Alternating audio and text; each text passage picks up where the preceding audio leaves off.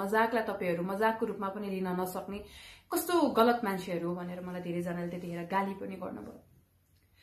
अहिले सामाजिक सञ्जालमा जुन निकिसा प्रतिको भाइरल भिडियो देखिरहेको छु उहाँलाई जसरी ह्यारेस गरियो र जुन भिडियो अहिले सामाजिक सञ्जालमा आइरहेछ अब म प्रश्न गर्न चाहे त्यो सबै साथीहरूलाई जसले मलाई त्यतिखेर एकदमै गाली गर्नुभएको थियो रियाक्सनलाई रियाक्सनको रूपमा नलिने मान्छेहरू भनेर गाली गर्ने साथीहरू आज कहाँ हुनुहुन्छ?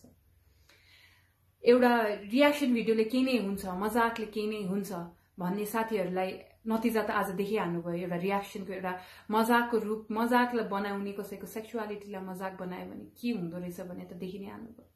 So this was the result of our action which we normalize back then when we saw something that was not normal मैले पहिला पनि भनेको थिएँ क्यान्डल मार्चमा गएर के पनि अर्थ छैन यदि अहिले हामीले जेन्डर बेस्ड डिस्क्रिमिनेसनलाई नर्मलाइज गर्दैनौँ। So stop normalizing gender based discrimination no matter how important it is to you to get get the PRs or get all kind of followers you want or के के गर्न सक्नुहुन्छ त त्यसबाट। समय अहिलेको समयमा पनि यदि हामीले चाहिँ कसैको सेक्सुअलिटीमा मजाक उडाएर हामी पपुलर हुन्छौँ कसैको सेक्सुअलिटीमा मजाक गरेर is that is cool that is how we are भन्यो भने sorry to be a bully is never right to be a bully is something you should be ashamed of our self be ashamed of yourselves. Double standard हामीमा छ। यो पालि त clear नै भयो किनकि त्यो साथीहरू जो कतै न कतै मैले याद गराएको थिएँ जसले मलाई भन्नुभयो कि मजाकलाई मजाकको रूपमा नलिने मान्छे भन्ने अहिले त्यही केही साथीहरूले चाहिँ त्यसमा भिडियोहरू हालिदिन्छ। कस्तो गलत भयो भनेर। यो त नजिकबाटै देख्न पाएँ यसपालि मैले हाम्रो डबल स्ट्यान्डर्ड्सको बारेमा।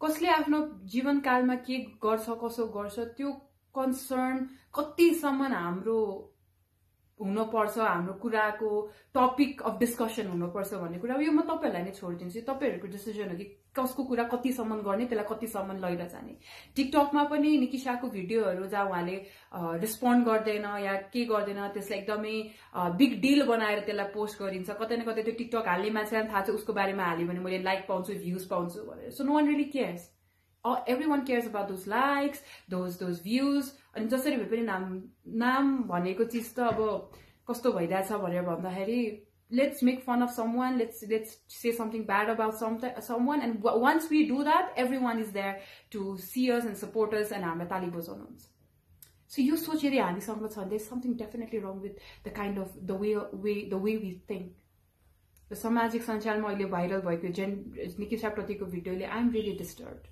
And I really request everyone, it's time to question ourselves. It's time to not normalize these things.